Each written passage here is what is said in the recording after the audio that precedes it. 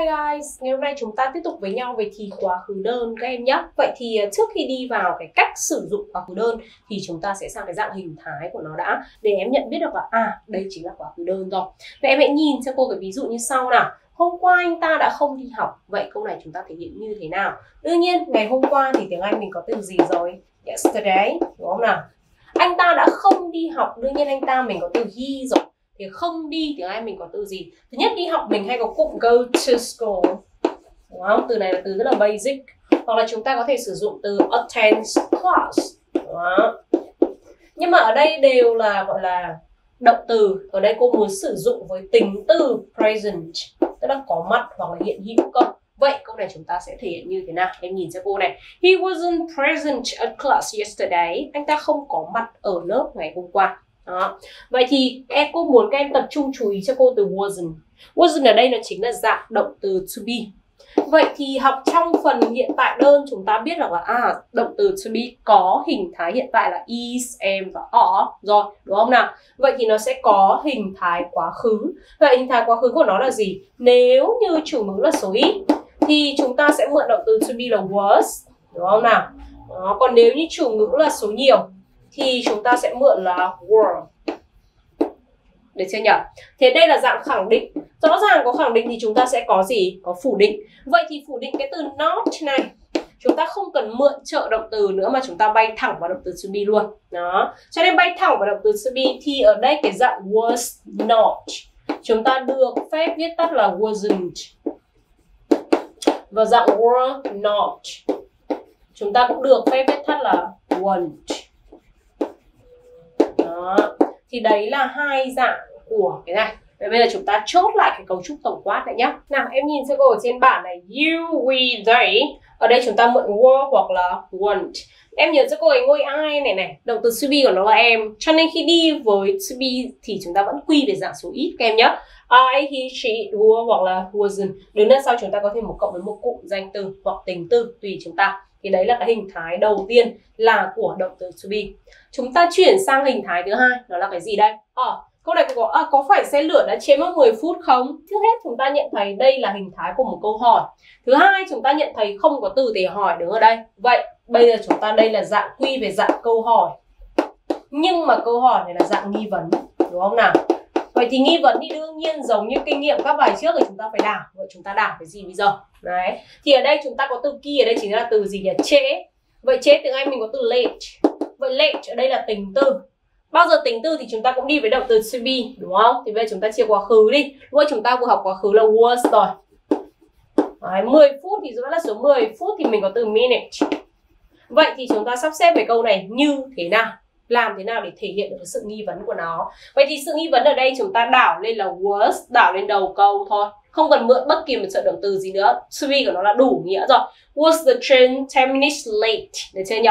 Lưu ý ở đây chúng ta đặt từ late cho cuối cùng nhá. Was the train 10 minutes late? Cái đầu này mượn 10 phút à? Nào cô đã tổng kết lại cấu trúc bằng PowerPoint để cho em dễ học thì em nhớ lưu lại cấu trúc các em nhé. Vậy từ đây đến giờ chúng ta đã đều đi qua dạng to be rồi. Vậy thì đâu phải chỉ động từ chỉ đơn giản to be đâu, đúng không nào? Động từ chúng ta còn động từ thường nữa. Vậy bây giờ chúng ta chuyển sang hình thái của động từ thường nhé. Nào, em hãy nhìn cho cô một câu như sau. Tôi đã gặp anh ta ngày hôm qua. Vậy thì chúng ta thể câu này như thế nào? Đương nhiên hôm qua thì vẫn là từ yesterday thôi cô không cần nói nữa, đúng không? Vậy thì cái động từ gặp gỡ tiếng Anh mình có từ meet nhưng mà meet này đang ở thể hiện tại. Vậy quá khứ thì chúng ta chia thành mẹ, đúng không nào? Đấy, thế thì ở đây cả một câu sẽ là như sau. I met him yesterday. Thế thì động từ nó sẽ như thế nào? Đối với thì quá khứ đơn thì nó sẽ chia thành hai loại thứ nhất là động từ theo quy tắc. Động từ theo quy tắc. Thì em chỉ cần thêm cho cô ed thôi.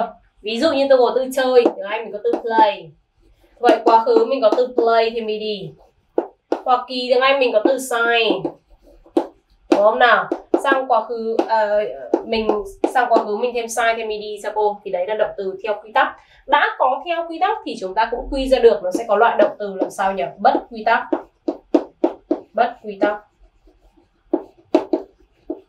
Vậy thì bất quy tắc thì là như thế nào? Em mà em nhận thấy đây, đây là cột 1, đây là cột 2 này. Vậy thì động từ bất quy tắc sẽ rơi vào cột 2. Ví dụ từ do.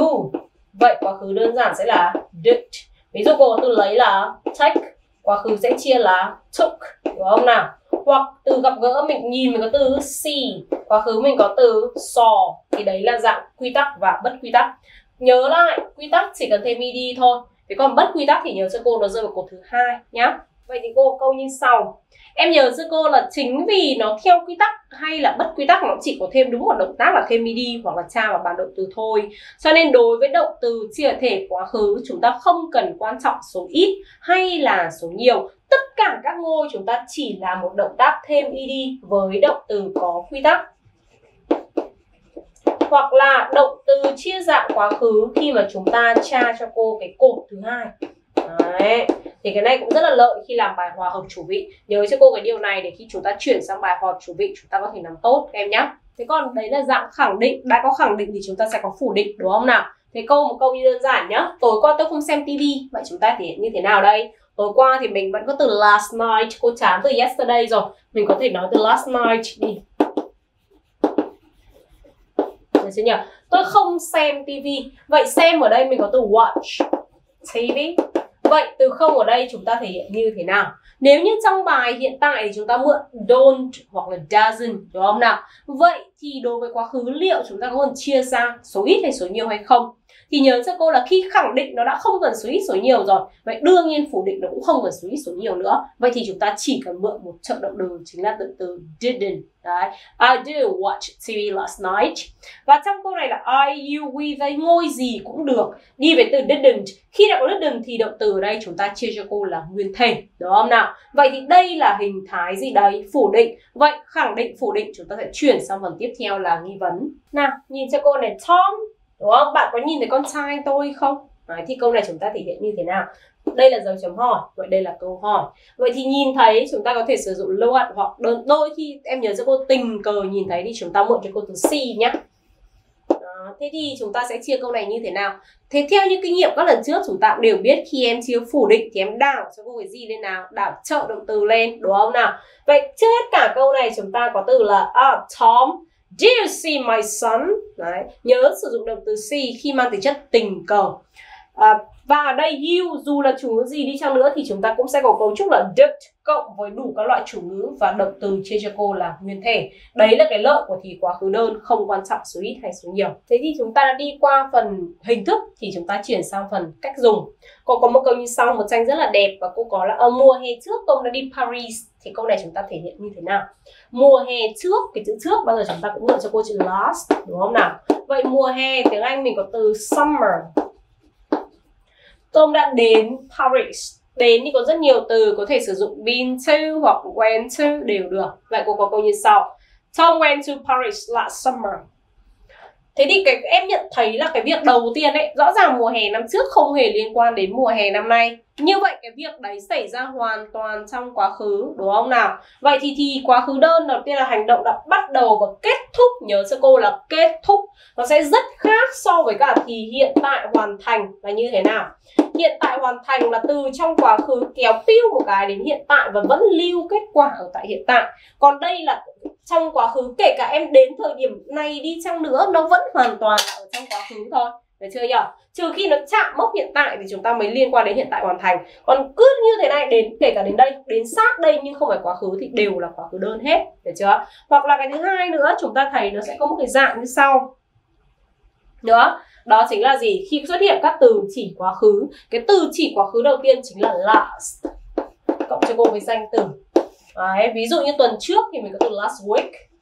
Đúng không nhỉ? Tháng trước mình có từ last month năm trước mình có từ last year đây, mùa hè trước mình có từ last summer, tức là last cộng với danh từ nói chung. Đấy là dấu hiệu đầu tiên. Nào em nhìn cho hồi ví dụ ở trên bảng này Mozart đã viết hơn 600 bản nhạc. Vậy câu này chúng ta thể hiện như thế nào? Thế thì ở đây chúng ta vẫn có từ Mozart đúng không? Viết mình có thể từ write write có thứ là write mình có từ wrote đúng không nào? 600 bản nhạc thì mình có từ 600 piece of music. Pieces of music. Vậy thì câu này chúng ta có cả một câu như sau. Đấy. À, uh, Mozart wrote more than 600 pieces of music. Thế câu này tại sao chúng ta lại chia quá khứ mà nếu như em học bài hiện tại hoàn thành rồi thì em nhận thấy là rõ ràng một thành tựu như thế thì chúng ta phải chia hiện tại hoàn thành. Em nhớ cho cô là ví dụ như là ừ, bà gì mà nổi tiếng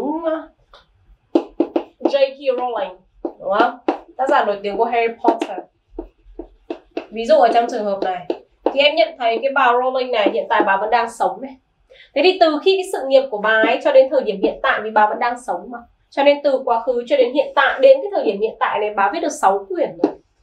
Nhưng quan trọng là cái kết quả của bà vẫn đang lưu ở hiện tại này, và bà ta vẫn đang sống, vẫn đang có những cái thành tựu thế nhưng ở trong dịp này Moza nó 600 bản nhạc. Thì em hỏi thì cho cô chẳng lẽ 600 bản nhạc không phải thành tựu à? Nó vẫn sẽ là thành tựu. Nhưng quan trọng là Moza là đã mất từ lâu rồi. Đấy, tức là dù là ông ta viết từ một thời điểm nào đấy đến ở trong quá khứ và ông ta viết như thế nào đi chăng nữa, bao nhiêu năm đi chăng nữa Nhưng tóm lại là Mozart đã xong rồi. Đấy, chính vì cái việc là Mozart đã đã xong rồi.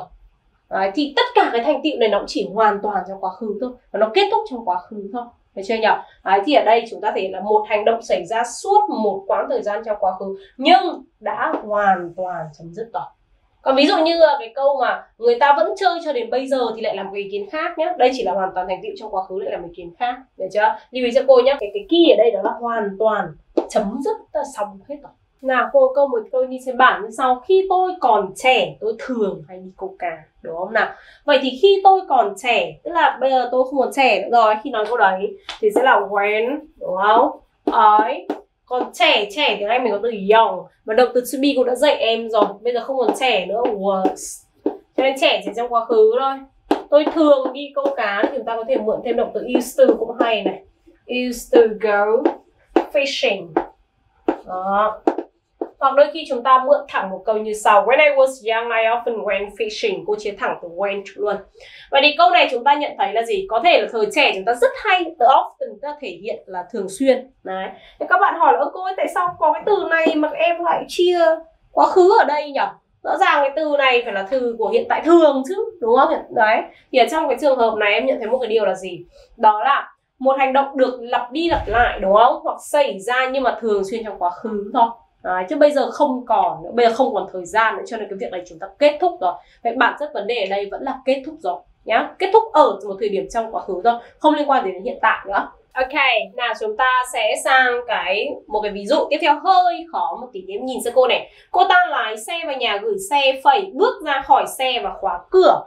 Nào chúng ta sẽ cùng nhau xử lý từng từ một. Thứ nhất cái từ lái xe vào thì thứ nhất động từ lái thì mình có từ drive rồi. Into đúng không nhỉ? Nhà gửi xe mình có thể có từ garage hoặc car park chỗ để xe. Cũng được, không sao. Thế còn bước ra khỏi xe, bước ra khỏi xe mình có từ gate out được chưa nhỉ? Khóa cửa, khóa mình có từ lock.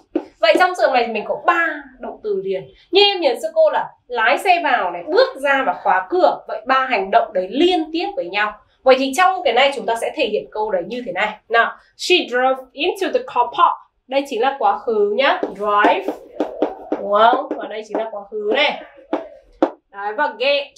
Quá khứ sẽ là got. Và có động từ lock là theo quy tắc thì chúng ta thêm cho cô là ed. Vậy là she drove into the car park get out the car and lock the doors.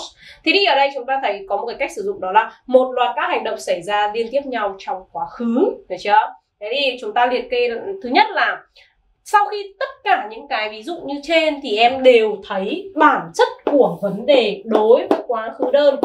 Đó là gì? Dù là trải qua 2.000 năm lịch sử 3.000 năm hay bao nhiêu năm đi chăng nữa, cô không quan tâm. Cô chỉ cần biết là cái hành động đấy kết thúc trước. Cái hiện tại này tức là xong hết ở trong quá khứ rồi và không lưu lại kết quả ở hiện tại nhá. Nếu không thì em sẽ bị nhầm đến hiện tại hoàn thành. Được chưa nhỉ? Kể cả ví dụ tôi học tiếng anh 6 năm như đến cái năm này tôi drop chẳng hạn, tôi bỏ chẳng hạn, thì chỗ này chúng ta vẫn chia quá khứ đơn thôi. Được chưa? Thế đi đấy là bài quá khứ đơn. Vậy chúng ta sang vào luyện tập để nắm kỹ hơn cái phần này nhá?